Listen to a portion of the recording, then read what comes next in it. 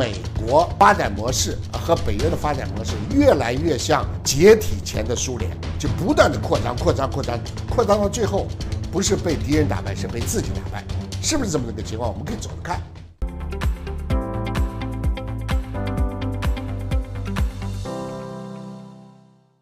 立体看世界，底线想问题。大家好，我是李伟。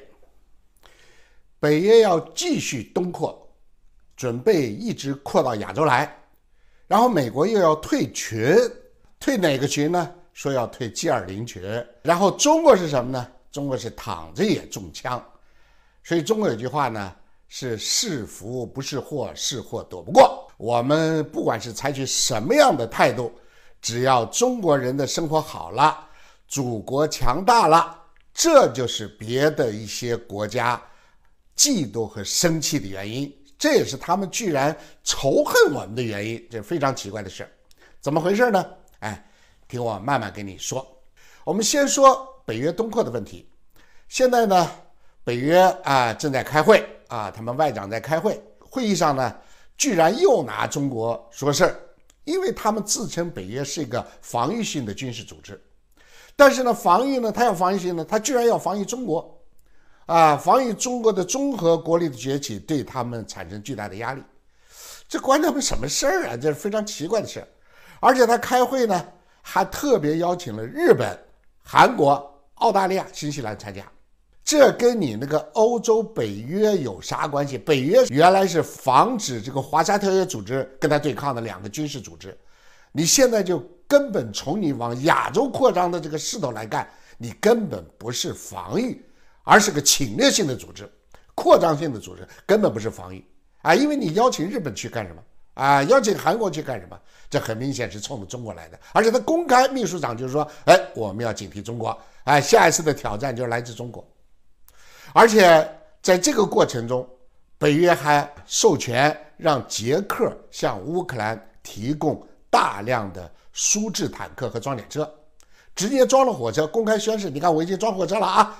啊，大家看地图就知道了。捷克和斯洛伐克一路火车通过去，就到了乌克兰了啊。那么就送到乌克兰去。那么一听这个话，北约有东扩的意思，马上乌克兰的总统高兴了。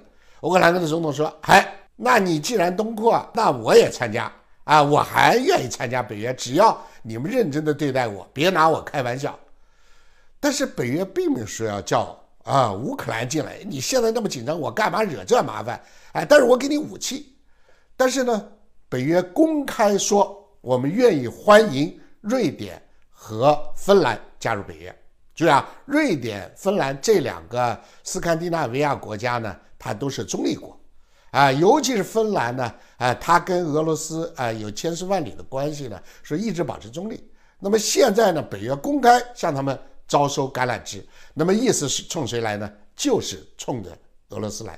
这就想起普京的一句话，普京曾经说过，其实美国啊的发展模式啊和北约的发展模式越来越像解体前的苏联，就不断的扩张、扩张、扩张，扩张到最后，不是被敌人打败，是被自己打败，是不是这么一个情况？我们可以走着看。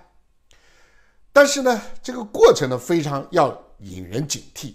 你看，美国现在呢，他们又开始向台湾出手军火。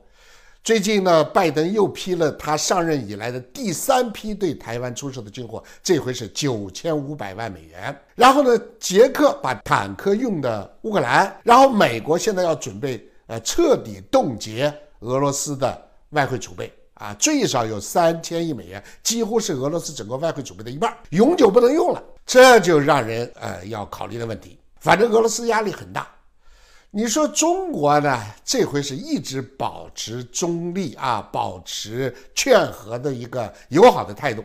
但就这种态度呢，引起他们的不高兴，因为没有站在他们一边但是他们从来也没有站在中国一边，到今天为止，他们还是站在分裂中国台湾的那边儿大家不要忘了这一点。所以有时候啊。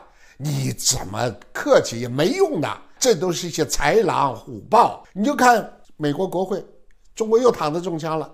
美国国会国防部长上去做一个听证会，结果国会一个众议院的共和党的议员呢，就跟国防部长吵起来了。因为国防部嘛，现在是民主党执政，那么共和党的就批评他，批评他什么呢？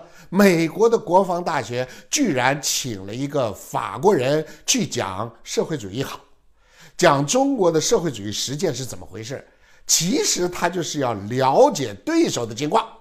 结果被这个共和党的议员大骂，说你们啊，国防部，你们居然是拥护社会主义。这个国防部长说，我们不能是集体。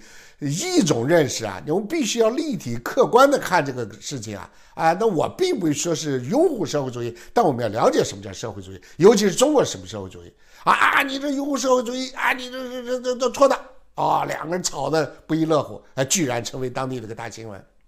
所以中国怎么都得中枪，所以要有充分的思想准备，尤其啊那些认为美国肯定会对中国好的人，你彻底死了心，不可能，只要中国强大。就是个对他们来讲是个不好的消息。现在啊，又有人搞动作了啊，要在联大开会投票啊，要求把这个啊俄罗斯驱逐出啊联大的人权委员会。同时呢，美国的财政部长耶伦啊，他说，呃，现在印尼组织的 G20 会议啊，我们不参加。如果有俄罗斯参加，我们就不参加。我清楚的告诉你们啊，如果那个会场有俄罗斯人，我就走了，我不参加。美国要退出 G20，但说的不太清楚，是彻底不参加呢，还是到了会场发现现场有俄罗斯人，他就不参加？不不，没说清楚。但这是耶伦老太太是公开说的，啊，因为美国提出要把俄罗斯剔出 G20，啊，但是不可能的嘛，啊，因为这回主席国是印尼，印尼说不会的啊，我不会弄这个。现在耶伦就开始给这个印尼施加压力，不仅他施加压力，美国的公司也开始。啊，像这个 Google 这些啊，搜索网站已经把所有俄罗斯的官方媒体全部删掉啊，你到那个 Google 上查不到了啊。俄罗斯的这个官方媒体，全世界就想听美国的声音，不想听俄罗斯的声音。我不管你俄罗斯怎么说都不行。但是呢，这回有个非常有趣的现象，注意到没有？国务委员和后任的以色列的总理，现在的外长通电话。为什么通电话呢？因为在这个俄乌冲突中，以色列、印度、土耳其，还有像保加利亚啊这些国家，居然跟中国的态度是一样的，都是愿意劝和，啊，甚至包括匈牙利也是这样。那塞尔维亚就更别说了。对沙特来讲呢，他是啊完全不关心这个事儿啊，沙特是一点都不掺和，连劝和都懒得劝啊，就是。但你注意到，以色列、印度、土耳其、沙特还有巴基斯坦这些国家，它在地区的重要性是越来越清楚的。所以呢，中国是跟很多愿意和平的国家和民族是站在一起的，而那些好斗的人，那是不符合中国的文化和中国的习俗。但是别忘了，我们不惹人。